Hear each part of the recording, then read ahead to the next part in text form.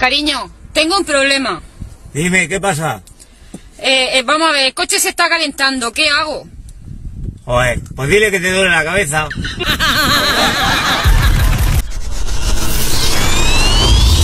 El reventón.